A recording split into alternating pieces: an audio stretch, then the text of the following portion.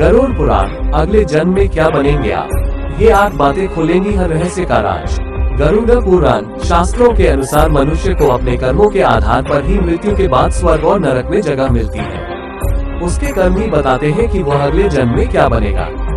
गरुड़ पुराण, धार्मिक ग्रंथ गरुड़ पुराण में बताया गया है कि मनुष्य धरती पर जो कर्म करता है, उसके आधार पर ही उसको फल मिलता है।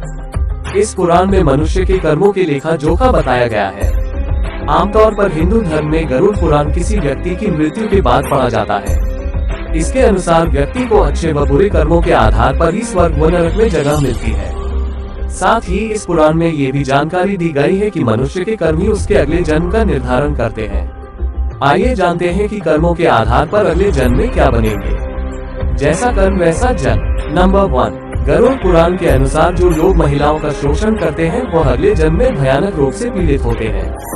इसके अलावा अप्राकृतिक रूप से संबंध बनाने वाले लोग अगले जन्म में नपुंसक बनते हैं।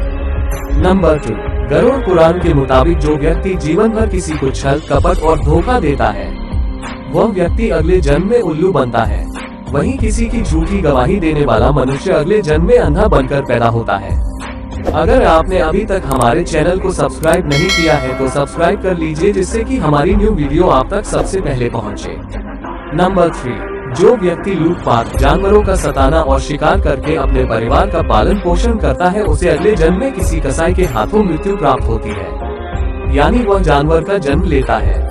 नंबर फोर गरुड़ पुराण में बताया गया है कि जो व्यक्ति अपने माता पिता और भाई बहन को प्रताड़ित करता है, उसे जन्म तो मिलता है, लेकिन उसकी मृत्यु गर्भ में ही हो जाती है और वह धरती पर नहीं आता। नंबर फाइव गुरु का अपमान करने वाले व्यक्ति के लिए नरक का रास्ता खोला जाता है। ऐसा व्यक्ति अगले जन्म में जल रहित वन में ब्रह्मराक्षस बनकर पैदा होता है। नंबर सिक्स जो पुरुषा महिलाओं की तरह आचरण रखते हैं या उनके आदतें व स्वभाव में महिलाओं की झलक दिखती है तो ऐसे पुरुष अगले जन्म में स्त्री के रूप में आते हैं। नंबर सेवन पुराण के मुताबिक जो व्यक्ति मृत्यु के समय भगवान का नाम लेता है तो भगवान उसकी मुक्ति का मार्ग खोल देते हैं। यही वजह है कि शास्त्रों में मरते समय राम नाम लेना महत्वपूर्ण बताया गया है। नंबर एट जो मनुष्य स्त्री की हत्या, गर्भपात या गाय की हत्या करता है, वह अगले जन्म में मूर्ख और कुबड़ा बनकर पैदा होता है। यहाँ दी गई सभी जानकारियाँ सामाजिक और धार्मिक आस्थाओं पर आधारित है। ये वीडियो इसकी पुष्टि नहीं करता।